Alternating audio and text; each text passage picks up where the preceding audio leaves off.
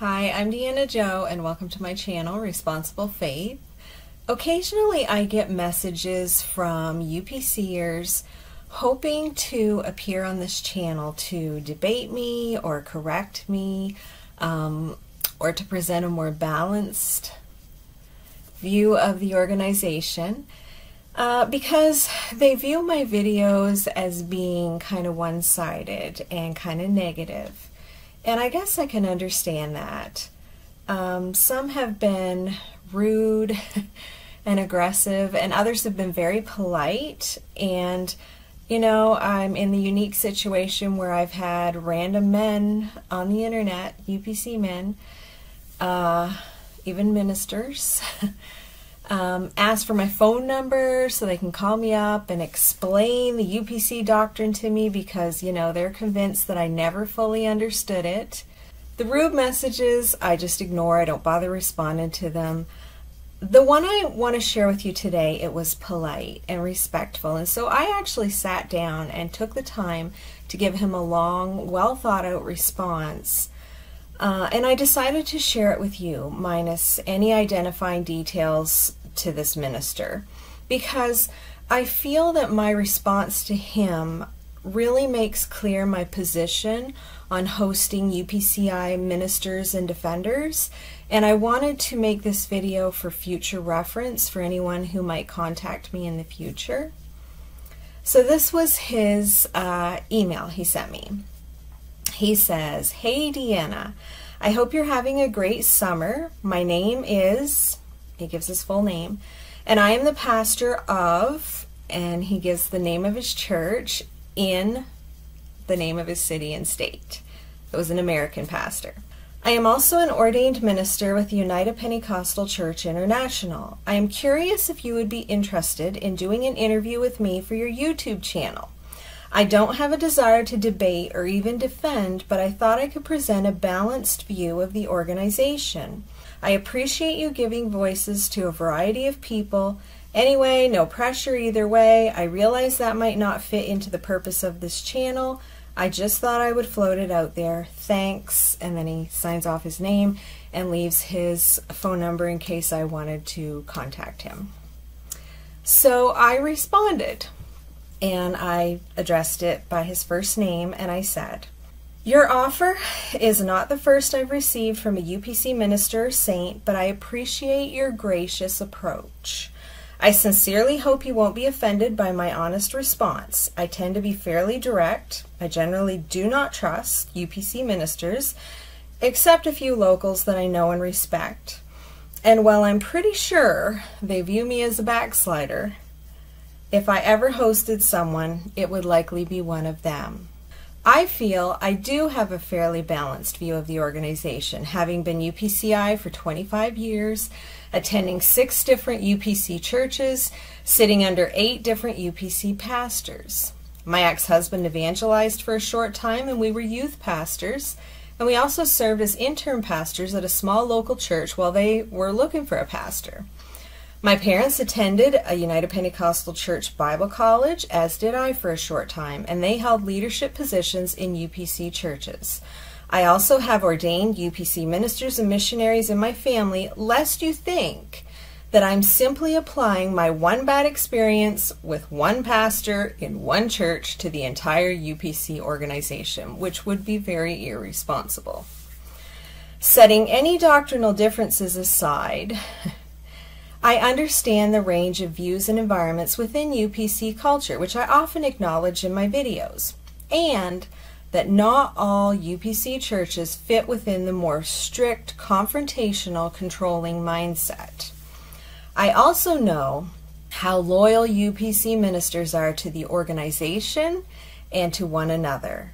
Not only is nothing being done about abuse of harsh pastors and the damage they cause, but a lot of you are complicit by fellowshipping with them, hosting them for events, and not welcoming their wounded saints to seek refuge in your churches without first obtaining a letter of transfer. Imagine going to your abuser to get permission to leave. I view these mindsets as part of the bigger problem. There is a level of pastor worship, idolatry, within your organization that is unhealthy, ungodly, and is promoted from the top down. In my opinion, this dynamic creates a perfect environment for spiritual abuse to thrive. Unquestioned. Blind obedience to authority is toxic and dangerous. You do have kind ministers as well, but typically the silence from those ministers in the face of situations of spiritual abuse and transgressions from other pastors is deafening. I don't see how you could present this systemic UPC problem in a more balanced way. Obviously, the UPC is not the only organization with issues, but in my opinion, they possess a unique set of qualities that make them quite conducive to abuse. As the organization I grew up in, I have a special place in my heart for their victims, having been one myself and therefore they do feature a bit more prominently on my channel. To be fair, you don't exactly have a balanced picture of your organization either. Unless you've left, you can't fully understand how the UPC operates and treats people. Leaving is a unique experience as shared on my channel. It would be difficult for you to understand reaching a point where you cannot in good conscience agree with what is taught and finding yourself faced with the prospect of leaving your entire community behind. That takes a lot of courage. Those who leave are called backsliders, compromisers, rebellious, but in reality, many had too much integrity to remain part of something they couldn't agree with anymore. Some women who change the way they look upon leaving feel that their UPC look was not only unbiblical and unnecessary, but a source of pride and even a potential stumbling block to the gospel for unbelievers. These scenarios are aspects of balance that I think it would be difficult for you to understand. The truth is, people who have left likely have the most balanced view of the UPC of anyone because they've seen it from every angle, especially those who were involved in ministry in some way. You were right to assume that hosting a UPC minister to present his opinion of the organization wouldn't fit within the purpose of this channel. This channel is not about the UPC, even though they do feature heavily because of my background. I created this channel to encourage people to study scripture for themselves within context and not simply build their beliefs on what they've been told by pastors, parents, friends, even me. The name Responsible Faith was chosen to represent people taking personal responsibility for their faith. I do share things I've studied as a jumping off point to challenge ideas they may have been taught, but even then, I don't necessarily expect people to think exactly like me. My videos are, as I stated, simply a jumping off point for personal study. I have respect for others' personal convictions. The secondary purpose of my channel is to define and confront spiritual abuse, which I suppose does sound rather negative when presented. It's a heavy subject to deal with on a regular basis. Many people have been deeply wounded by pastors and churches, and, and the abuse stories I share are directed at them. I host people from various religious backgrounds, not just UPC. Victims have felt comforted in knowing they're not alone and will make it through their pain and anxiety. Of course, my goal is for them to hold on to Jesus as they come through, but some just cannot. And I funnel those who reach out to me into healthy private support groups for victims of spiritual abuse, and I recommend resources to help them as they heal. If you've not read the book, The Subtle Power of Spiritual Abuse by Jeff Van Vonderen and David Johnson, I can't recommend it enough. It was written by two pastors, and it's an excellent resource. I know you were hoping to bring some balance to the way the UPC is portrayed on my channel, and I can understand that. My view is that there are a host of extremely positive UPC social media, YouTube, and podcast options available, including David K. Bernard's. And I honestly think that my channel has brought some balance to that narrative. Your perception is that I am presenting an extreme version of the UPCI as the only credible view. But many would argue that the UPC presents an extreme version of Christianity as the only credible view. If I could respectfully put the ball back in your court, in the spirit of observing balance, as a Christian pastor, have you ever invited a Trinitarian minister to your church to present the Trinity so your church can have a balanced view of how the Godhead is viewed within the Christian community? Have you ever presented the eschatological idea of partial preterism? So your members could have a more balanced presentation of various end time views to make up their own mind. Have you ever presented the annihilationist view when preaching about hell, or just conscious eternal torment? True UPC heritage has ministers in it who were annihilationists, or as the older generation called it, burnt up root and branch. Ever invited a Baptist pastor to speak so your congregation can interact with other Christian pastors who represent Christianity a little bit differently than you do? Would you ever allow me to come and stand in your pulpit to present a broader view of something that you shared?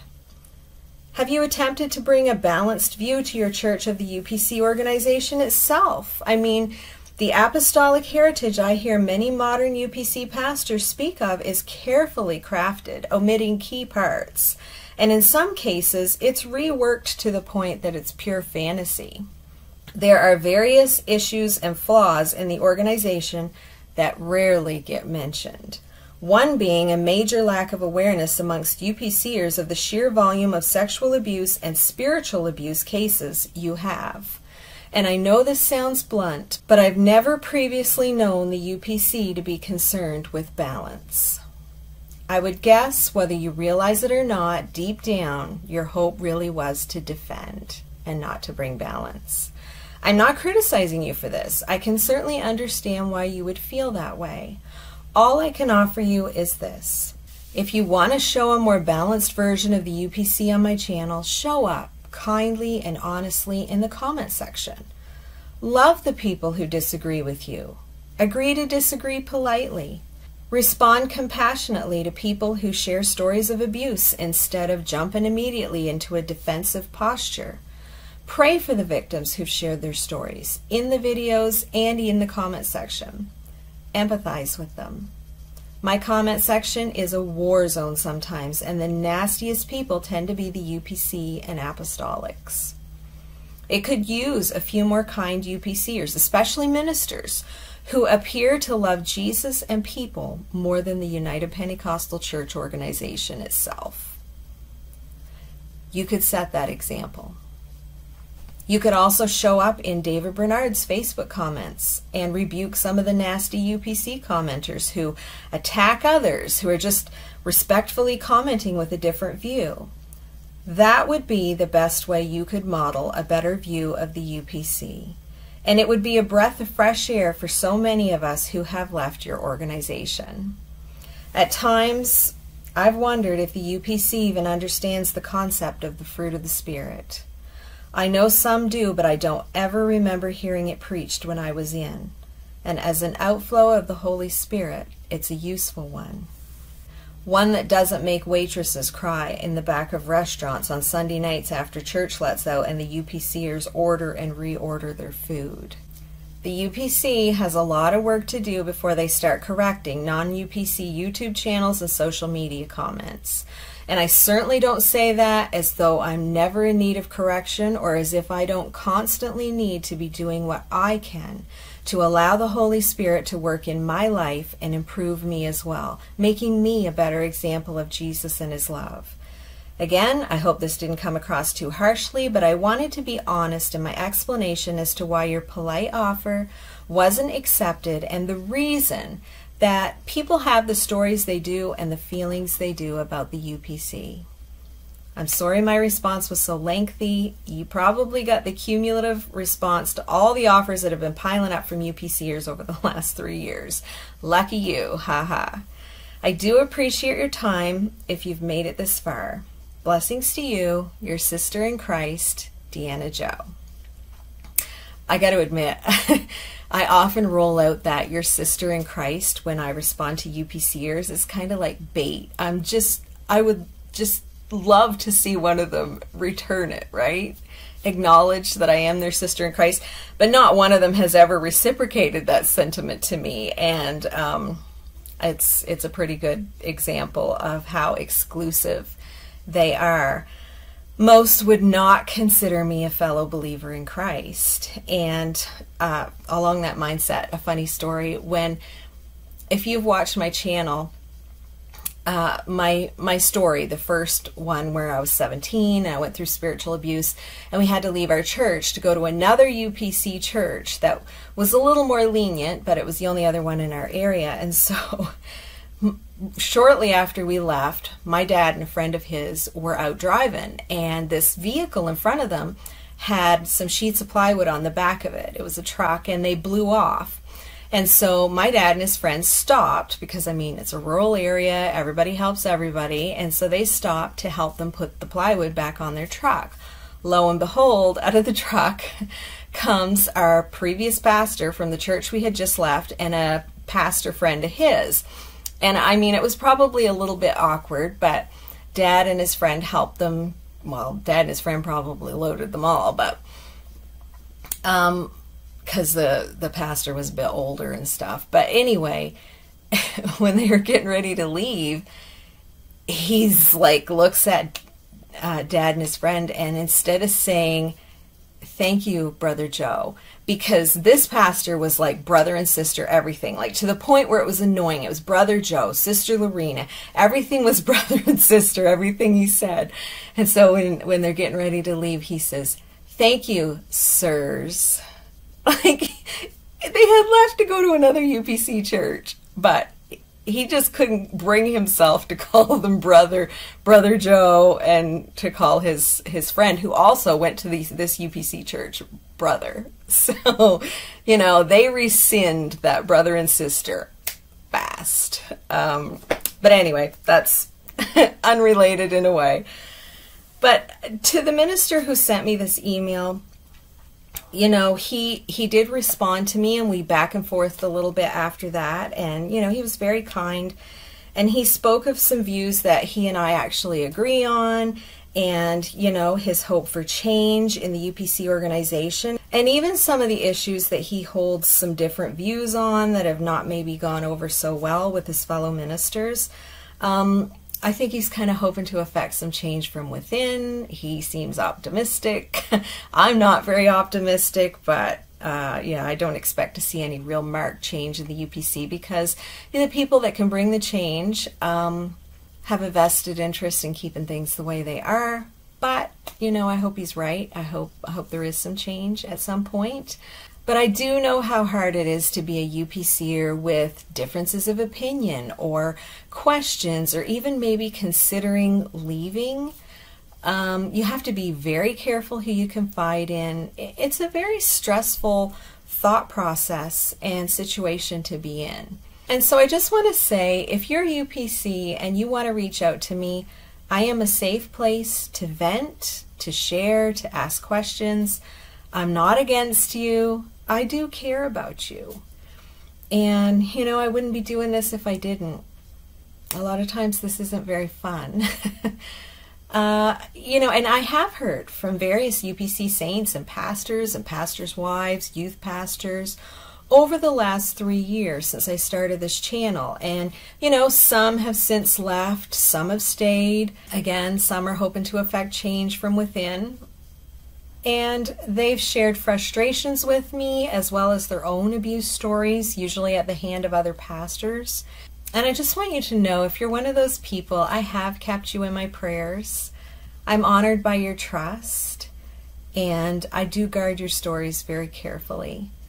And I hope I've proven my trustworthiness to you. And, you know, I feel like ministers and their families are especially isolated in these instances, and I just want you to know that I'm here. But I want to be clear.